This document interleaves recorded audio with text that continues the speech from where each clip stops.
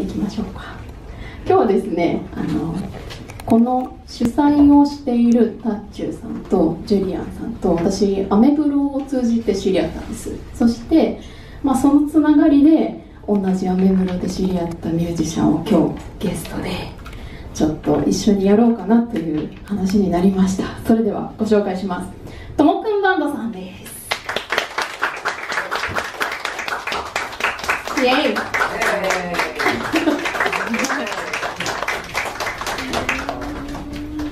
あの私が音楽を始めたのは19だったのでなんかともくんを見てるとすげえなって思うんですよね。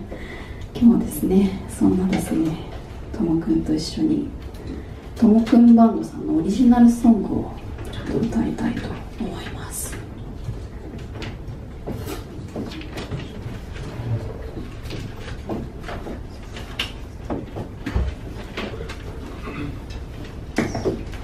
それでは3曲目聴いてください。流星への思い。